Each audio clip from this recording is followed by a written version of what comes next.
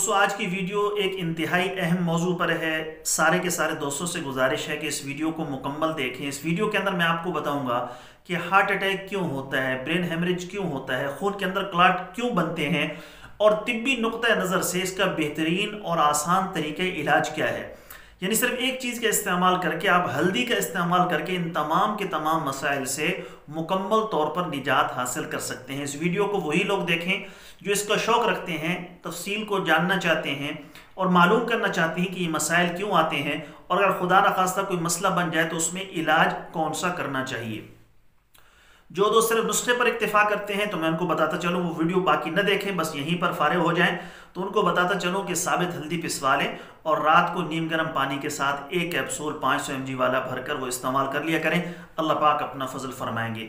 तो ये ये वीडियो उन तमाम दोस्तों के लिए है जो इल्म का शौक़ रखते हैं, जो इन चीज़ों को सीखना चाहते हैं, जो मिजाज को परखना चाहते हैं। किस मिजाज के अंदर ये मसाइल बन सकते हैं? दिल का मसला है, दिमाग का मसला है, कैंसर का मसला है, बवासीरी जहर का मसला है। ज़ुबान कौन से रंग की हो जिससे ये सारे के सारे मसाइल का हमें पता चल सके कि ये मसला मेरे साथ हो सकता है, मेरी ज़ुबान का कलर चेंज हो रहा है।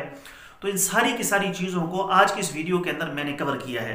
तो शुरू से लेकर आखिर तक देखें, जो इस वीडियो को मुकम्मल देखेगा इन ताला इस वीडियो से वो बहुत सारा फ़ायदा भी हासिल कर लेगा और उसको बहुत ज़्यादा नफ़ भी हासिल होगा।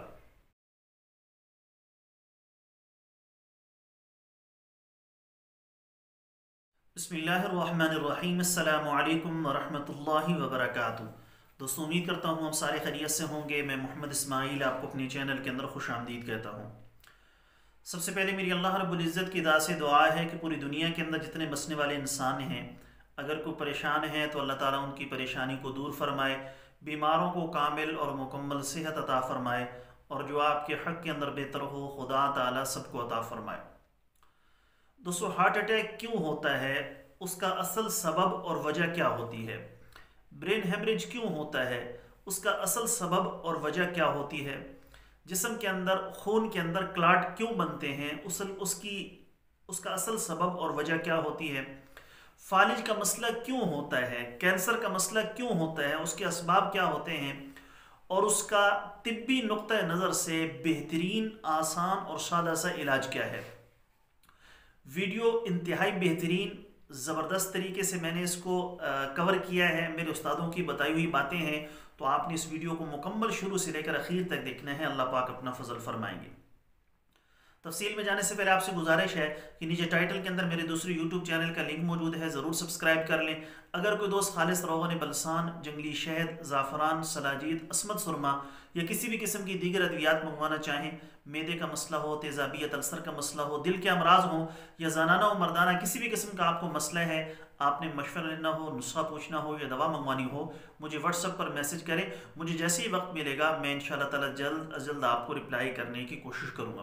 तो चले दोस्तों, इन मसाइल के इसबाब भी जान लेते हैं कि किस वजह से ये मसाइल बनते हैं और हल्दी के इस्तेमाल से आप अपने दिल को, आप अपने जिगर को, आप अपने दिमाग को और सारे के सारे जिसम को कैसे ठीक रख सकते हैं, इसकी तफसील भी सुन लेते हैं। दोस्तों, ये बात जहन नशीन कर लें कि कभी भी हल्दी के बग़ैर बग़ैर हल्दी डाले अपनी हांडी को मुकम्मल न समझें। ऐसे बेशुमार अमराज जो इंतहाई खौफनाक हैं, उनसे हिफाजत और उनके ख़िलाफ़ क़वत मुदाफ़ात सिर्फ़ हल्दी पैदा कर रही होती है। हल्दी आप सिर्फ़ सारन का रंग बेहतरीन बनाने के लिए इस्तेमाल करते थे। आपको इसकी हकीकत, इफ़ादियत का इल्म ही नहीं है, लाशौरी तौर पर आप हल्दी का इस्तेमाल कर रहे होते हैं, जबकि आपका बदन हार्ट अटैक, फालिज, टीबी, कैंसर, सोजिश, जिगर जैसे ख़तरनाक अमराज से बचने का ज़रिया अल्लाह ताला ने इसी हल्दी को बनाया है। अब थोड़ी तशरी करके बात को समझते हैं। खून में मौजूद कीमियाई मादों और फाजिल अनासर की मौजूदगी से खून का क़वाम गाढ़ा हो जाता है। सबब बताने लगा हूँ, गौर से सुनिएगा। जिससे दिल को उसे जिसम में धकेलने के लिए न सिर्फ़ ज़्यादा क़वत लगानी पड़ती है, बल्कि ज़्यादा ज़ोर लगने से कमज़ोर भी होता है। इसी तरह कुछ गज़ाई मादे लहमी अज्जा और मुर्दा खिलियात भी खून में शामिल होकर खून को गाढ़ा और गलीज़ करते हैं, जिससे खून के बहाव में रुकावट आती है और खून की नालियों पर दबाव बढ़ता है। और इस दबाव के बढ़ने से बाज़ अवकात कमज़ोर नसें फट जाती हैं। यहाँ पर एक नुक्ता आपको बताता चलूँ, जिन लोगों की ज़ुबान पर सफ़ेदी जमी होती है, उनको खून किसी न किसी सूरत गलीज़ हो चुका होता है, यानी गाढ़ा हो चुका होता है।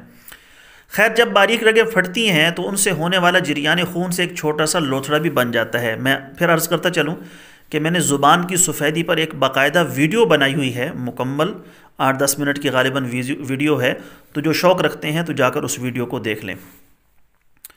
तो एक छोटा सा लोथड़ा बन जाता है। अब ये लोथड़ा दौरान खून के साथ गर्दिश करता है और जब ये लोथड़ा दिल में पहुँचेगा तो वो किसी शरियान में फंस जाता है या चिपक जाता है।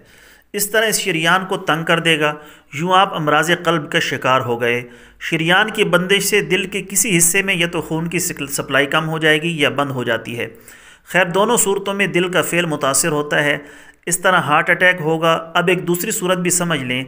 इसी तरह जब ये लोथड़ा क्लॉट दिमाग की किसी रग में पहुँच जाए तो दिमाग की कोई ना कोई रग बंद कर देगा। अगर रग बंद हो गई तो दिमाग की तरफ़ खून की सप्लाई भी बंद हो गई।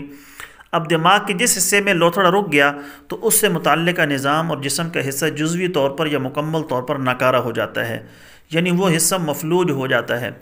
अब अगर यही लोथड़ा रग तो बंद कर चुका और दिल की तरफ़ से खून का दबाव बढ़ रहा है तो उस हिस्से से रग फट जाती है, जिसे आप ब्रेन हेमरेज कहेंगे। यानी ये इसी लोथड़े से पैदा शुदा मर्ज़ की शिद्दत है। उम्मीद है इससे इंशाल्लाह आपको समझ में आ गया होगा कि मैं कहना क्या चाह रहा हूँ। दुआ करें, अल्लाह ताला सबको इन अमराज से महफूज फरमाए। बदन मफलूज हो जाने पर बंदा तो नाकारा हुआ। अब वारिसान के लिए भी ये वक्त किसी अजाब से कम नहीं होता। अब इस मरज़ से निजात के लिए जदीद तरीका एक तो ये है कि ऑपरेशन करके मुतसरा मकाम से लोथड़ा निकाल दिया जाए। दूसरी सूरत यह है कि अद्वियात के ज़रिए इस लोथड़े को तहलील किया जाए। याद रखें, खून के क्लॉट दूर करने के लिए एलोपैथिक के अंदर जो अद्वियात इस्तेमाल की जा रही हैं, उनके इस्तेमाल से फ़ायदा कम और नुकसान ज़्यादा होता है। क्लॉट निकालते निकालते खून इतना पतला कर दिया जाता है कि उसकी असल हैत ही बदल जाती है। जो इंजेक्शन लगाते हैं ना आमतौर पर हार्ट पेशेंट को तो उससे खून इतना पतला हो जाता है कि उसकी असल हैत ही बदल जाती है। इंतहाई पतला खून नहायत कमज़ोर हो जाता है और बाज़ अवत ज़ख़म हो जाने या किसी और सूरत में जरियानी खून हो जाए तो खून रुकने का नाम ही नहीं लेता। जदीद तरीन तहकीक से यह भी साबित है कि खून पतला करने वाली इन अद्वियात, कसरत इस्तेमाल से क़वत मुदाफ़ात पैदा करने वाले तबी निज़ाम को शदीद नुकसान होता है। इस वजह से आपने देखा होगा कि जिनको हार्ट का मसला हो आम तौर पर उनकी टांगों के अंदर दर्द या कमर के अंदर दर्द रहता ही है। अब ये किसी भी मरज़ के ख़िलाफ़ फ़ाइट बैक करने की सलाहियत नहीं रखता ख़ास तौर पर अगर अमराज आस, अगर अमराज आसाबी निज़ाम के मुतल हों और ख़ास कर जिसका आप रोज़ रोना रोते हैं, यानी क़वत बाह पर बहुत असरानंदाज होता है। और दिल के उजलात बड़ी तेज़ी से कमज़ोर होते हैं। हाँ हद अतदाल में इन्हें इस्तेमाल करना गलत नहीं है। इसलिए नहायत ज़रूरी है कि ऐसी अद्वियात इस्तेमाल करते वक्त हर वक्त अपने मालिश से रबते में रहें। लगातार ख़ुद ही इस्तेमाल मत करें। अब बहुत सारे दोस्त हैं, ऐसे कहते हैं कि भाई हम पैनाडोल की गोली रोज़ाना खा लिया करें। खून जितना पतला होगा, फिर उसमें फालिज के अटैक होने के ख़तरात बहुत ज़्यादा बढ़ जाते हैं, इसलिए एहतियात किया करें।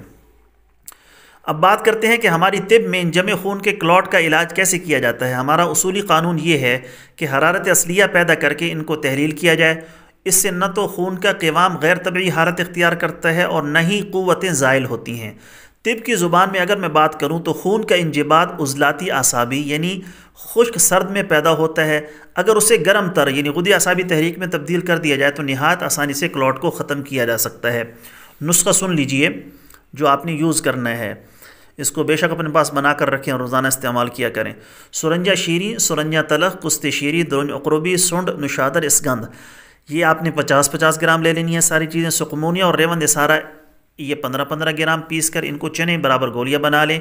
एक से दो गोली दिन में तीन मरतबा पानी के साथ इस्तेमाल करें, लेकिन जो कमाल हल्दी में देखा है, वो सब दवाओं से बढ़कर है। दर हकीकत हल्दी बज़ाहिर एक मुफरत नबातात है। लेकिन अल्लाह ताला ने इस एक मुफरत नबात के अंदर काफ़ी मौसर जौहरों का एक मरकब है, जिसका ज़िक्र मैं कई वीडियोज़ में कर चुका हूँ। अब इनमें एक जौहर मौसरा यानी कीमियाई अनसर भी है, जो इंतहाई दाफ़े सोजिश और तकसीरी एजेंट है।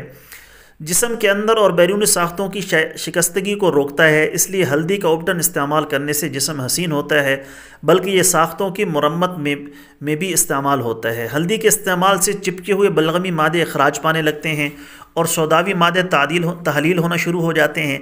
नालियाँ साफ़ कुशादा हो जाती हैं जिसम के अंदरूनी ज़ख़म बैरूनी ज़ख़म खा कैसे हों ठीक होना शुरू हो जाते हैं। उसके लिए नहायत मशहूर दवा जिसे आप लोग अक्सर बादियान के नाम से जानते हैं। जिस पर मैं कई नुस्खे भी बना चुका हूँ, उसमें हल्दी, मुलट्ठी, सौंफ दस दस ग्राम रेवन खताई तीस ग्राम शामिल करके पीस लें। एक चने के दाने के बराबर दिन में तीन से चार मरतबा इस्तेमाल करें, अल्सर तक दुरुस्त करती है। नक्सीर हो या ज़ख्मी होने पर जरियान खून हो फ़ौर कंट्रोल करती है। याद रखें, अगर किसी भी ज़ख़म में कीड़े पड़ जाएँ तो हल्दी का कमाल ये है कि कीड़ों को हलाक करके ज़ख़म साफ़ करना और फिर उसे भर देना हल्दी का कमाल है। कसरत हैज़ टी बी बवासीर, खून सब में मुफीद है। याद रहे कि हल्दी उजलाती तहलील पैदा करके और गदद में तस्कीन पैदा करती है, जिसकी वजह से हाई ब्लड प्रेशर के अंदर फौरी कमी करके शरियान फटने से बचाती है। यानी ब्रेन स्ट्रोक से बंदा बच रहता है, सिर्फ़ अकेली हल्दी को इस्तेमाल करने से हेपेटाइटिस तक को मुफीद है। आप हर घर में ये मामूल बना लें कि हर सालन में हल्दी का इस्तेमाल हर सूरत किया करें, आप यकीनन बेशुमार अमराज अमराद खबीसा से बच सकते हैं।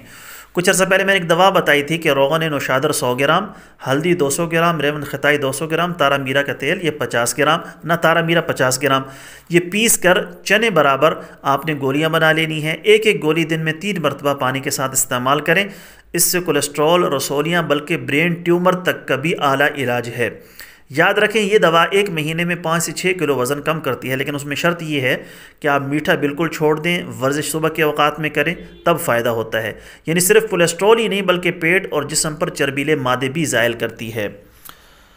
तो दोस्तों, ये सिर्फ़ एक हल्दी के फ़ायदे हैं जो मैंने आपको बताया आप इन सारी की सारी अमराज खबीसा से अपने आप को बचा सकते हैं। इसको रोज़ाना इस्तेमाल कीजिए। अल्लाह पाक अपना फ़जल फरमाएँगे इन ताला। दोस्तों, ये थी हमारी आज की वीडियो। उम्मीद है आपको पसंद आई होगी। वीडियो पसंद आए तो लाइक करें, शेयर करें, हमारे चैनल को ज़रूर सब्सक्राइब करें। कल एक नई वीडियो के साथ मैं आपकी खिदमत में हाजिर होऊँगा। इजाज़त दीजिए, शुक्रिया। असलकम वरहमल वर्का